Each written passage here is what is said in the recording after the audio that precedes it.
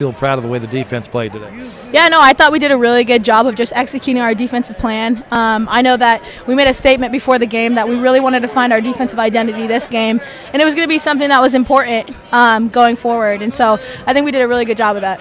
Kennedy Brown shows that she can shoot that three with effectiveness.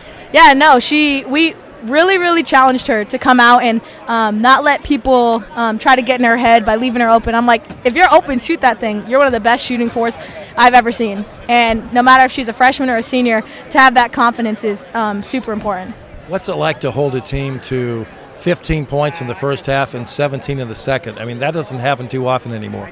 Um, you know, I think it just speaks a lot to our growth. Um, we've come a long way. I mean, at the beginning of the season, it wasn't something that we probably could have done, um, or meant like our preparation for it probably of not being able to do it. But I think we as a team have really come together and just been like, we have to listen to the coaches, we have to execute it, and it's not an if and or but. It's if we want to get to where we want to be, we have to do it.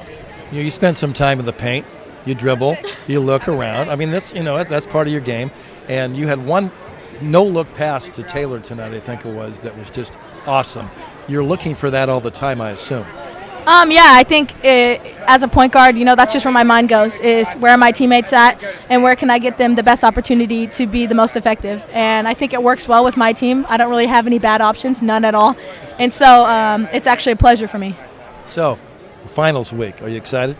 I'm really excited, I guess, just to be done. Um, I'm really coming to the end of my like I just added a major, so I'm like just kind of tacking stuff on, but almost done, so kind of excited.